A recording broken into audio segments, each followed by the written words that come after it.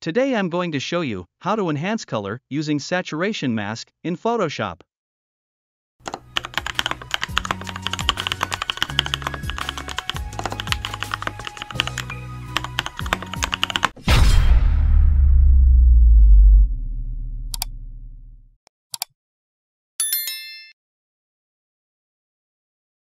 First, go to Layer, Duplicate Layer.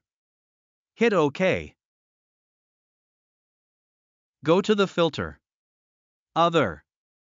HSB slash HSL. Make sure the HSL row order is chosen.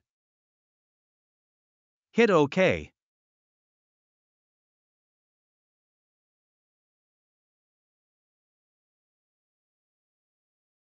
Go to the window. Channel.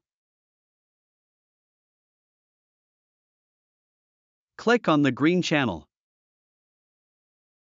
Click on the Load Channel selection. Click on the RGB channel. Click and drag the background copy to the trash icon.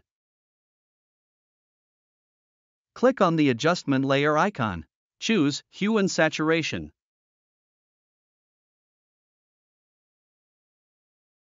Increase the saturation.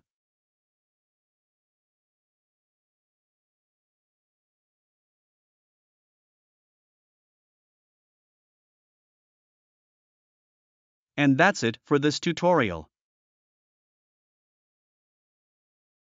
If this is your first time at the Big Smile Editing, follow my Facebook page and don't forget to click the subscribe button on my YouTube channel to get notified when new videos are uploaded.